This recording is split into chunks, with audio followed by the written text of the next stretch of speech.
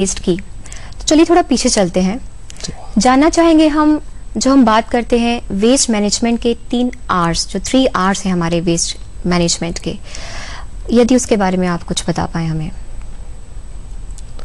Waste management शुरुआत होती है कि जहाँ से वेस्ट निकलता है जी। तो वहाँ से जनता से लेकर जो इसमें इन्वॉल्व है अथॉरिटी और जो फाइनल डिस्पोजल कंपनी ये तीन लोग इसमें इन्वॉल्व होते हैं और तीनों का अवेयर होना जागृत होना बहुत ज़रूरी है।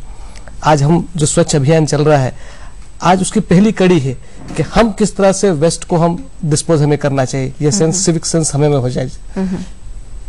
ये सिविक सेंस हमारे में होना चाहिए कि हम